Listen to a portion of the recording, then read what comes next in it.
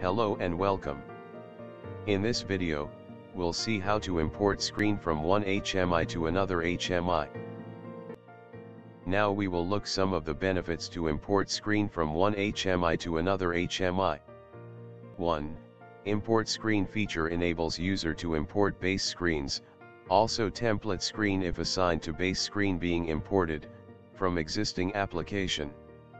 And 2 screen configurations can be imported easily and integrated in a project again quickly and safely.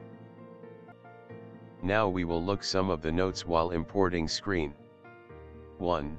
Screen import functionality is applicable to same product series for example 4035T application can import screen of 4035T, 4035TE, 4035TN, and 4035TNE model only.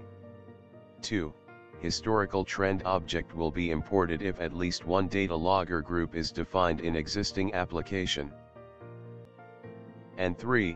Maximum number of template screens allowed in application is 10. While importing screens if number of template screen exceeds maximum then further template screens will not get imported and warning message will be displayed. Let us see how to import screen from one HMI to another HMI. Create a new project in FlexiSoft software as per hardware selection, here I am using FP3070T series HMI. On your left hand side of screen you will see project list. In that there you will see base screen. Expand it. Then you will see screen 1 which is blank nothing is defined on that screen. Import screen option is available under screen menu. Which you can see on top of your screen. On selecting import screen option, open file dialog appears which allows selection of application whose screens are to be imported in existing application. But you have to note that screen import functionality is applicable to same product series, for example if we are using FP3070T HMI so application can import screen of 3070T, 3070TE, 3070TN, and 3070TNE model only. So select your application and open it, so after selecting open, one window will get open in which a list of screens present in the opened application is displayed. Preview of these screens are provided on their selection.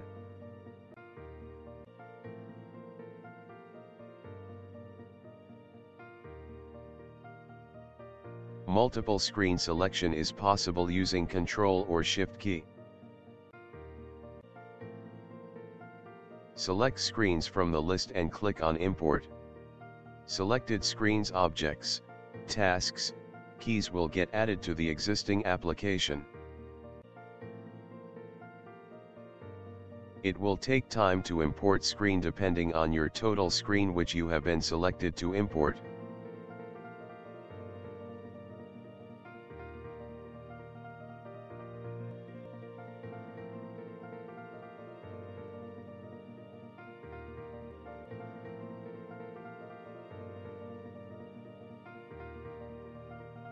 Once your progress is done it will show import screen completed pop-up. Click on OK. And now you can see that all the screen that we have imported has get added to your base screen.